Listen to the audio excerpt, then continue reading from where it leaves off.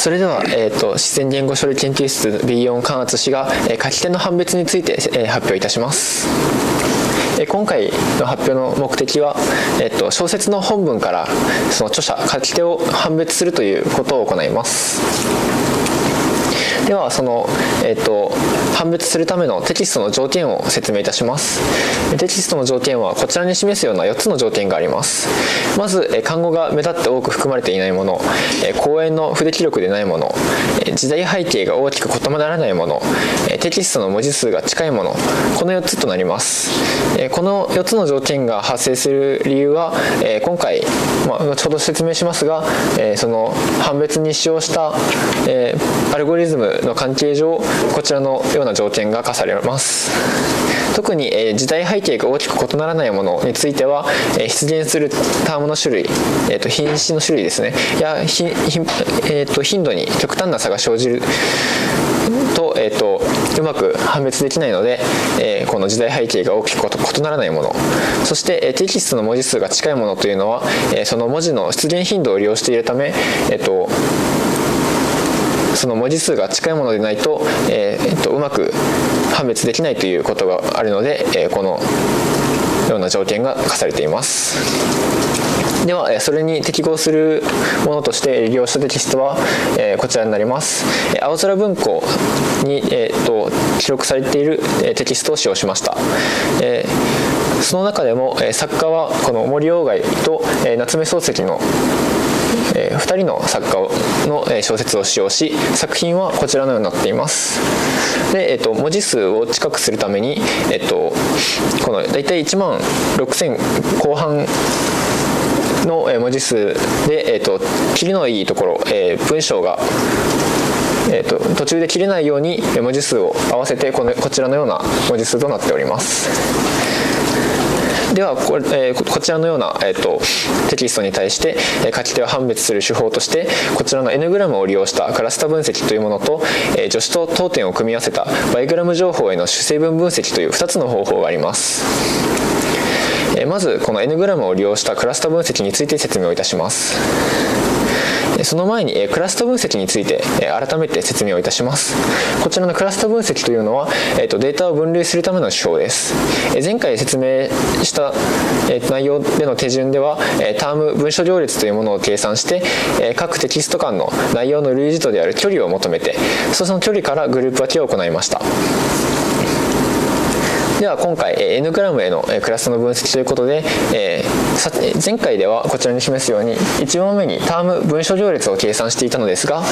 今回は N グラムを求めてその頻度を、え算出いたしました。その出現頻度を算出いたしました。でその、え出現頻度に対 N グラムの出現頻度に対して、え類似度である距離を求めてそして、え距離の値からグループ分けを行いました。その結果がこちらになりますこの図形図を見ると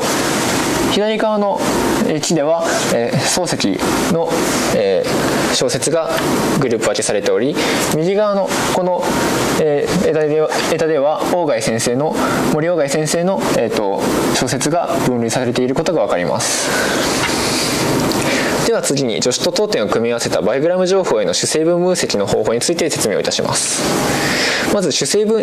分析について説明をいたします。これは多数の変数の情報を主成分特点と呼ばれる小数の合成関数に変換する手法になっております、えー、後ほど説明するのですが今回はその8つの作品からバイグラムを取り出して、え、その書き手の判別を行いますそのため、えー、8つの作品からバイグラムを取り出すので8つの変数があります。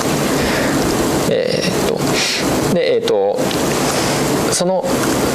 取り出した変数の値を使用して、えー、距離などの値か、えー、要素から、えーと、グループ分けを行うんですが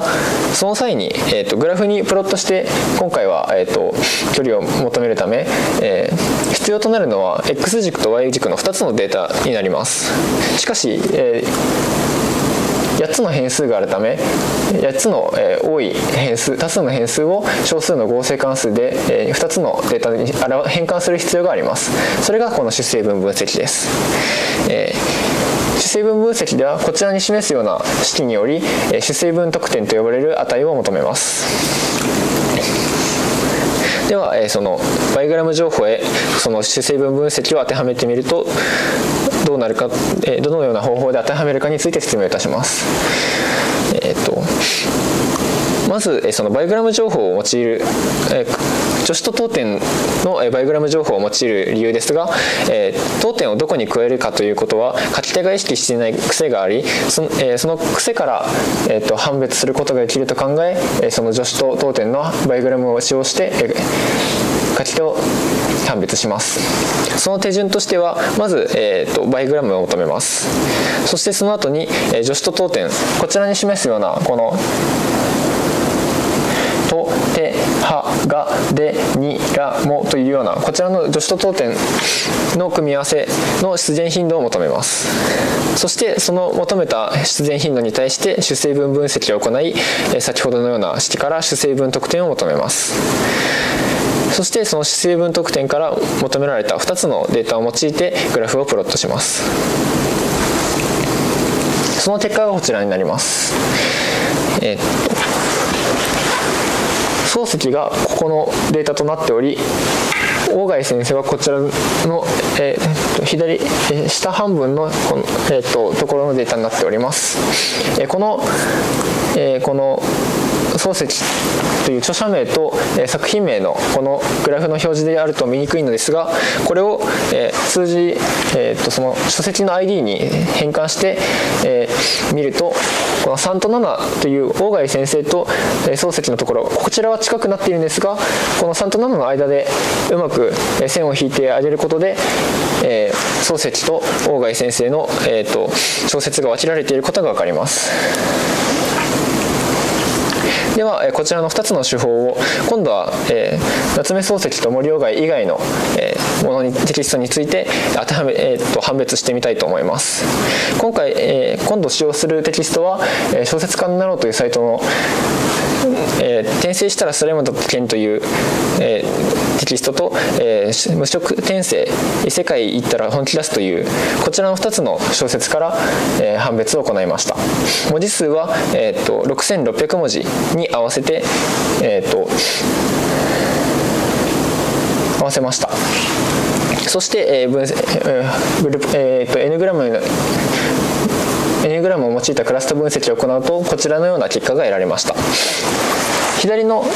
枝では、えー、転生したらスレムだった件という、値が、えー、作品が元、えー、グループ分けされており右側では、えー、無色転生の方の、えー、小説がうまくグループされて分けされていることが分かります。また、えー、主成分分析を行った方法では、えー、このちょうど0の、値 x 軸0の、値を境にして左側が、無色転色右側が転生したらサレマドッチンというように、うまく、えー、書き手、まあ、作品が分けられていることが分かります。まとめです、えー、今回は、えーと、書き手を判別するために必要なテキストの条件を示し N グラムを利用したクラスタ分析と助詞と当点を組み合わせたバイオグラム情報への主成分分析という2つの手法を、えー、提示しました。そしてその手法2つの手法から夏目漱石森鴎外の各4作品と、えー、小説家のローに掲載されている2作品のうち各4話について分類分けを行いました。こちらが参考文献になっております。以上で発表終わります。